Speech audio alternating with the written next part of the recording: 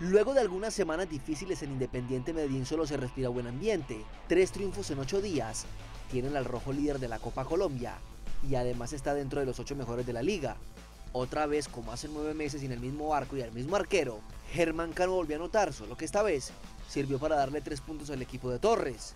Si ganábamos, nos poníamos ahí arriba peleando la punta, así que eh, esto recién comienza. Medellín inquietó al tiburón y lo hundió en la crisis de resultados y de mal juego. El Podroso llegó a 10 unidades y se ubica séptimo a tan solo dos del líder Deportes Tolima que ajustó 12.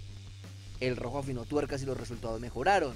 Ahora los dirigidos por Hernán Torres tendrán un juego entre semana por Copa Colombia ante Envigado en el Polideportivo Sur. Y el próximo fin de semana recibirán el Atanasio Girardot a las Águilas Doradas de Pereira.